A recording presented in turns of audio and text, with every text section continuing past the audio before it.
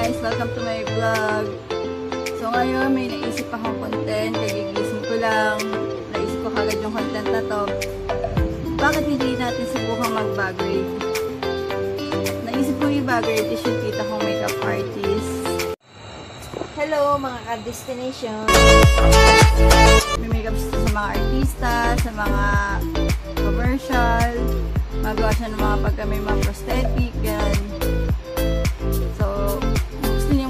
makita or malaman makilala siya, just keep on watching. Three hours later. Hi guys! Medyo madilim kasi against the light eh. Pero ngayon, pupunta ako ngayon sa tita ko. Dito pala dapat tayo natin. So yun guys, pupunta ako ngayon sa tita ko. Matutuloy na yung bagay natin sa tita ko na makeup artist. So tara, samahan niya ako. So guys, nandito na tayo ngayon sa bahay ng tita. Tuloy na natin yung bagay natin kay tita Lai. Nasa kwarto ba? Eh. Guys, nandito na ako ngayon sa kwarto ng tita ko. Kakatokay lang natin siya.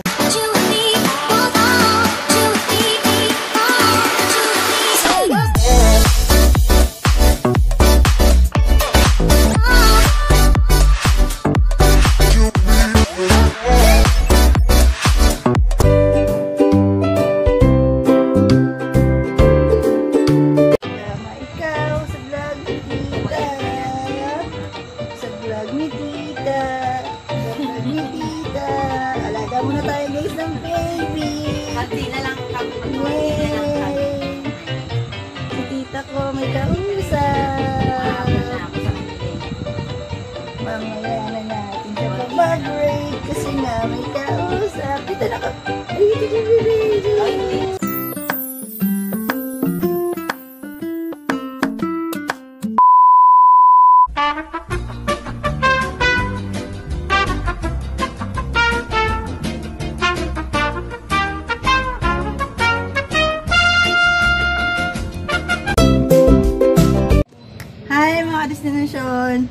So ito magiging camera girl muna natin kasi pinsan ko nga pala si Nicole. Yeah, Nicole! so ayan, punta na tayo sa kwarto ng tita ko. Meanwhile. Ah, game na game na talaga to. Simulan na natin. Nicole, game na? Ah, tara, sim- Tita, pwede po ba kami pumasok?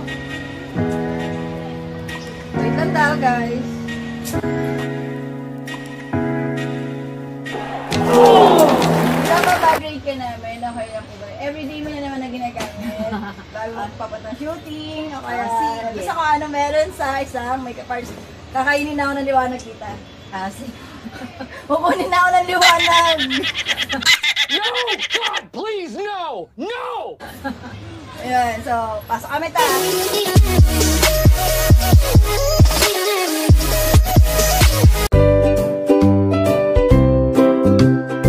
So, mga destination, ito na si tita.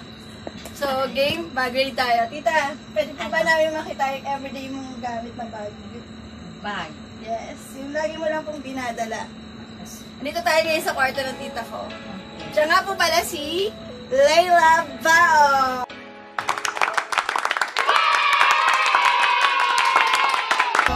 Isang makeup artist. Freelance na tita. Oo. Freelance na makeup. Kaya pag gusto niyo magpa-makeup, alam niyo na.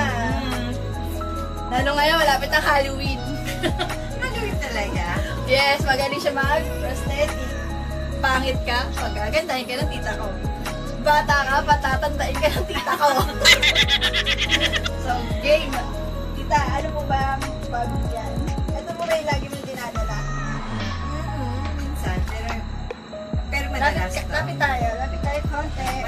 Ito yung bag ng tita kong ginagamit. Kita mo yung ani ko. Yan. O, diba? Meron siyang ano ba tawag sa ganito? Meron siyang Kadin. kadena. Kaya ikaw, huwag ka loloko-loko. Ayaw mo makadena. Ganito, ganito. Kita niyo ba? Pakita mo, Nicole. Yan.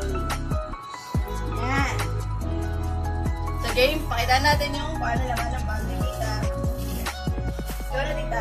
Pwede pa yung damit ko. Sige. Kailangan ba ano? Detalye ba? Op.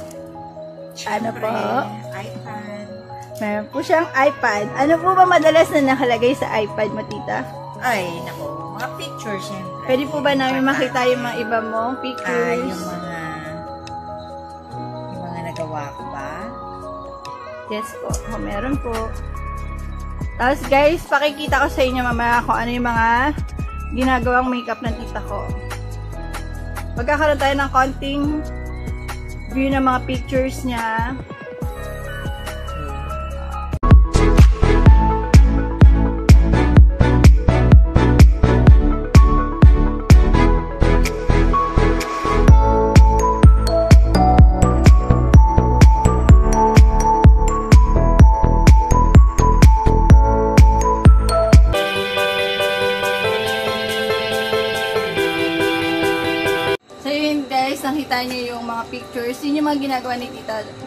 Sa inyo na isa siyang makeup artist, freelance makeup artist. So, with this video thumbs up, pag gusto niyo makita kung ano yung mga ginagamit ng isang prosthetic artist sa katulad ni tita. Paano niya pinapatangos ang ilong at doon ako magpapatangos ng ilong. Ito, tita ko. so, game guys. Tingnan na natin ibang laman ng bag niya. So, game tita, tingnan natin kung ano yung mga iba pang bag. Bukod sa iPad, meron kang Oh. cellphone. Siyempre, kailangan na charger. Meron siyang charger at mukhang hindi siya nakaayos siya. Ayun, nakaayos, di ba guys? Meron kasi tayong na bag grade na ang charger is mal sa salo nakalagay. Binabagay sa ako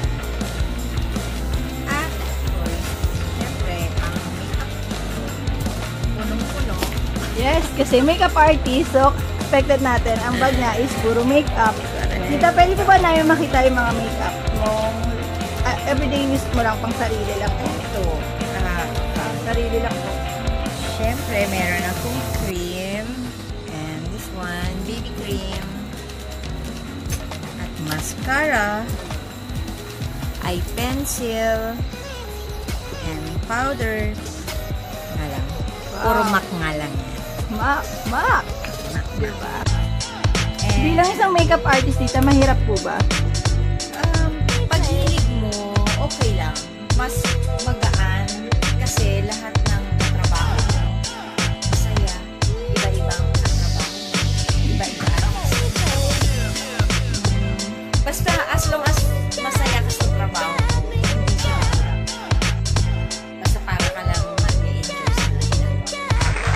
Bilang isang makeup artist, tita, kung ano yung nilalagay mo po ba sa mga mini-makeupan mo is yun din ang ginagamit mo din sa'yo everyday or may sarili, iba po? Ay, yung sarili ako. Iba yung kasi mas hiyang ka. Yung iba kasi yung mga makeup artists, ano eh, depende sa gagamitin mo sa artista. Umiyang sila doon. Diba? Minsan tinatanong ko din sa kanila kung may allergies na.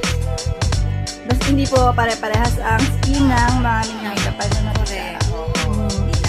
Merong ayaw na gano'n, merong ganyan, merong okay. So, yan po yung laman ng kanyang makeup kit. Ano pa po? Of course. Wallet. Patingin po ng wallet ni tita. Ayun, may Nivea siya. And tissue.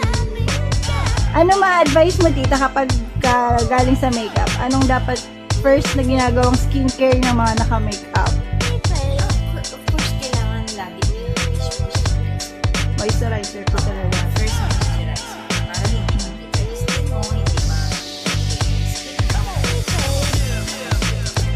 And then, what else po? Pabango. Wow, ano pabango yan?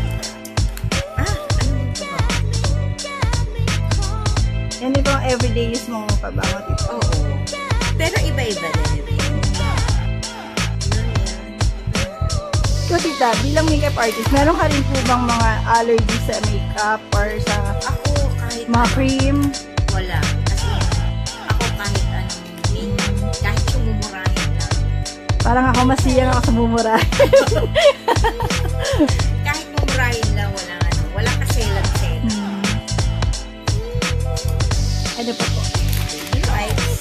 And baby wipes.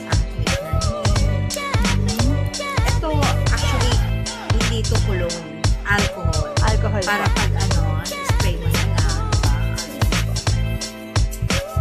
And what else? Ah, wala na. Candy! May candy. Candy siya. Siyempre, pagka may kausap ka. Earphone. Tissue. Ayan, tissue. At ito na rin ang basurahan ko. Pag, Gamot. And meron akong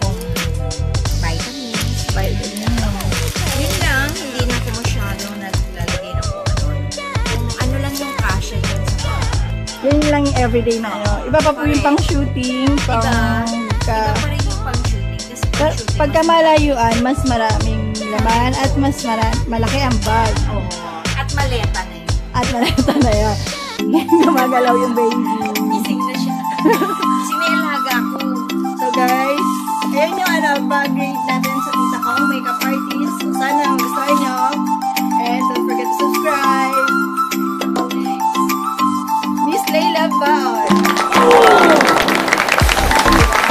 Sa mga nanood. So yun yung nangyaring bag grade natin kanina sa tita ko.